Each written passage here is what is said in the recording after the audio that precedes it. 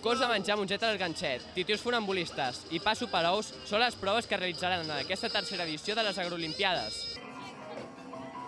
La tercera edició de les Agrolimpiades va començar amb el concurs de menjar mongetes al ganxet, una prova en la que els concursants havien d'intentar menjar d'un bol tantes mongetes com poguessin. Seguidament, si els participants ja estaven tips, ara tenien que En la prova dels titiu funambulistes, un concursant tenia que pujar sobre una roda de fusta i com a únic suport un company havien d'enumerar titius mentre bevien vi d'un porró.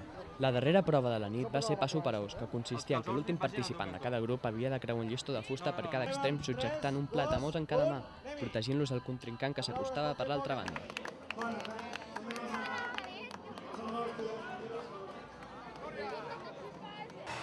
Bogeria i molta aigua és el que hi ha aquí a la plaça de l'Església. Tot això després d'un correfoc ben calorós.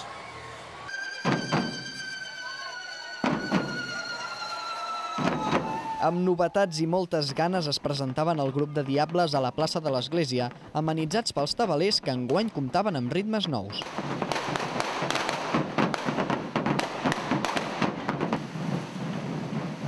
El correfoc es desplaçava fins al carrer Teresa Uller, a pas de carretillada, i després de fer cremar les figures s'enfilava pel carrer de Sant Ramon, per arribar-se al carrer Montseny.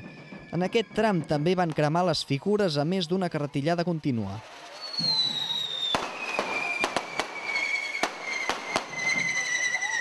I arribats al final del carrer es van encendre els francesos amb les figures.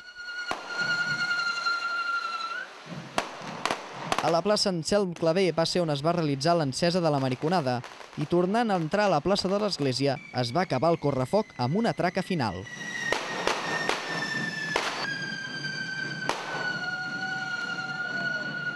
Minuts més tard es donava pas al recent recuperat Correaigua, on els cardedeuencs, sota la pluja, despertaven una gran eufòria.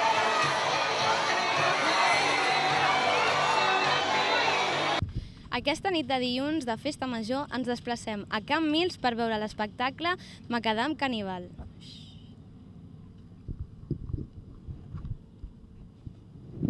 Macadam Caníbal és un espectacle vingut des de França, representant les tècniques del circ on una parella pobra es dedica a fer-se la vida impossible. A través de les tècniques tradicionals del circ, la companyia modifica i actualitza antigues representacions firals.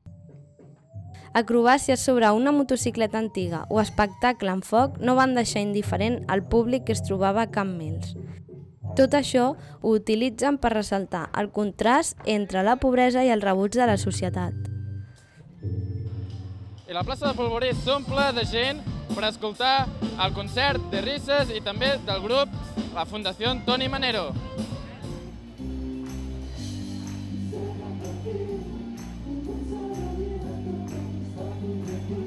Mentre el Garitos escoltava la música de Mesclat, al Polvorí es podia escoltar el grup de Risses, un grup que portava 4 anys pujant als diferents escenaris del Vallès. Amb una barreja de funk, soul, disco i amb lletres en català, el grup de Risses va ser capaç de portar el positivisme, el bon rotllo i les ganes de festa a la plaça del Polvorí.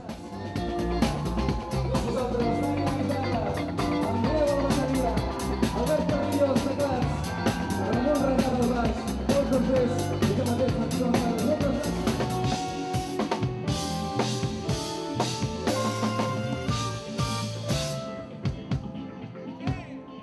després d'acabar el concert de risses, la festa no va parar, ja que van pujar a l'escenari els coneguts Fundació Toni Manero. Moltes de les cançons que es van interpretar van ser del disc Pandilleros, un disc que va estar pensat com una banda sonora d'una pel·lícula inexistent i també com un homenatge a la música funk.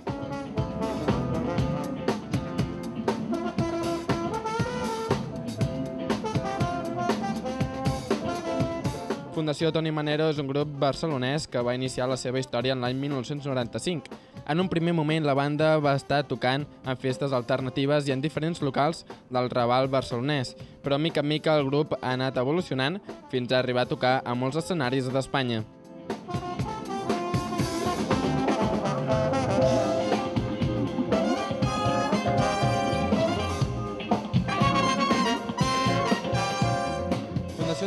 Està format per 10 membres, on es poden trobar una secció de vents, dos cantants, secció rítmica, guitarra, baix i teclats. Un bon conjunt que va fer que els assistents al concert poguessin moure el seu cos.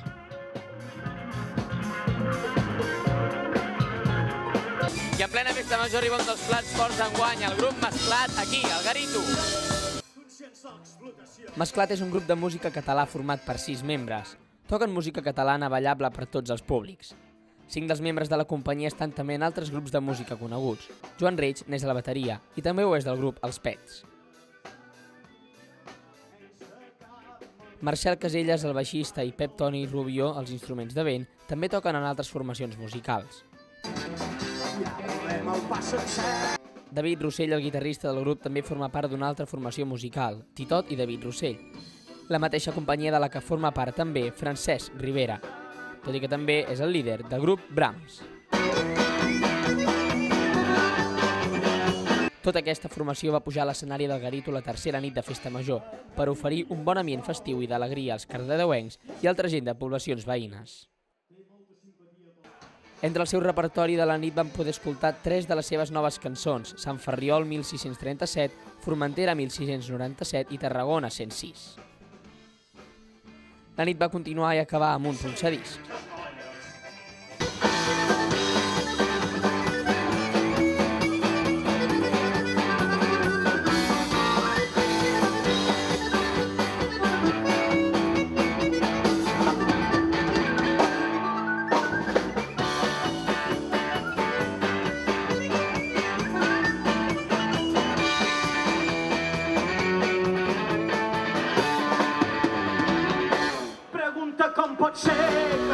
La meva vida fa molt ser colorida, ara quedant no res.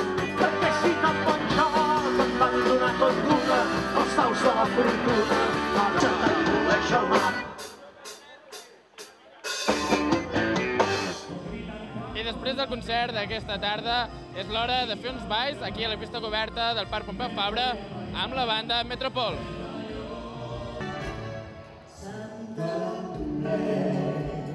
Salses, boleros, tangos, qualsevol ball era bo per a moure el cos i celebrar la festa major amb l'orquestra Metropol. Amb 14 anys d'experiència i considerada una de les millors orquestres de Catalunya, l'orquestra Metropol va fer ballar a tots els assistents.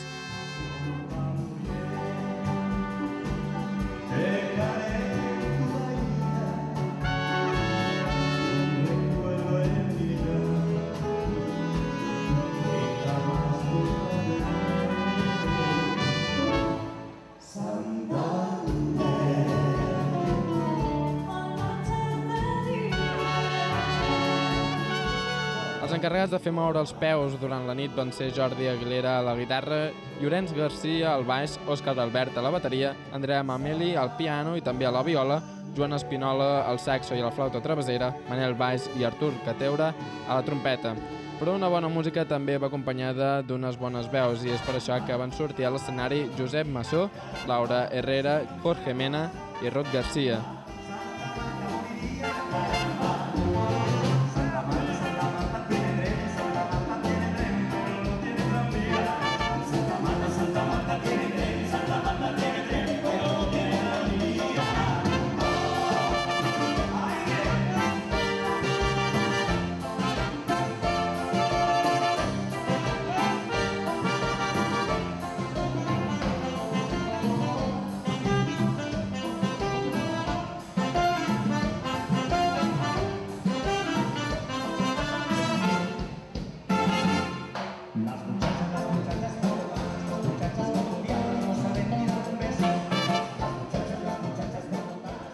Amb música en directe i amb una gran posada en escena, l'orquestra va saber seduir els cardedeuens durant la nit de dilluns.